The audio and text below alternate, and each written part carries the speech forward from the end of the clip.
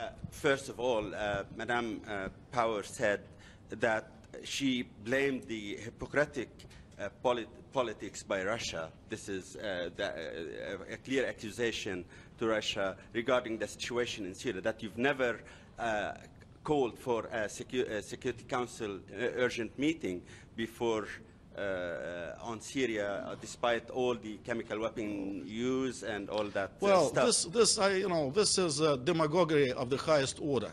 Demagoguery of the highest order. Uh, we have heard, uh, we have called uh, meetings at, on various situations over the years. We have discussed Syria. We have discussed anything else. Uh, so this, this I just uh, don't know how to respond to because it is uh, demagoguery beyond my ability to respond. But as to blaming Russia for everything, and in fact, uh, is there anybody from the Washington Post here? I was. Uh, this is the line which uh, they have been uh, they have been taking from uh, from time to time.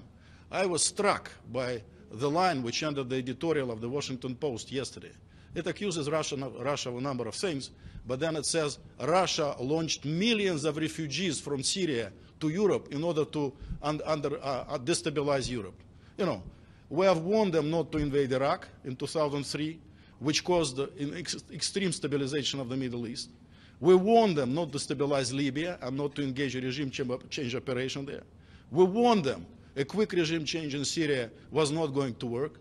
They chose to, you know, pump trillions of billions of dollars of weapons to some strange people, so-called uh, moderate opposition groups who, can, they cannot control any longer, you know. Uh, and, and now we, it's our fault that refugees are going from Turkey uh, to Europe. So, of course, one can uh, blame Russia or anybody else for everything, but uh, I would rather they looked into the mirror and uh, were more uh, realistic and pragmatic and truthful in their analysis of their own actions.